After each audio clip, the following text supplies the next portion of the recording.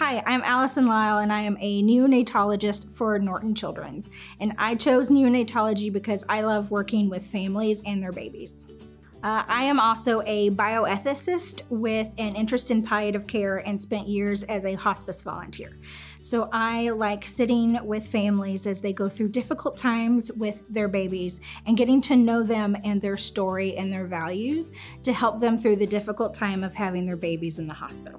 So I have spent extra time getting a master's degree and a fellowship in pediatric bioethics where we talk about difficult situations that families may go through and how to navigate those ethical dilemmas in a way that fits for the family. My family is from Southern Indiana and I earned my bachelor's in biochemistry from Indiana University.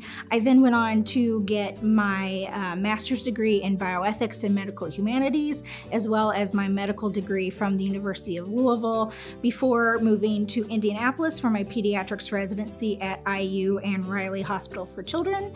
And then I went on to do two fellowships in neonatology and pediatric bioethics at the University of Washington and Seattle Children's Hospital.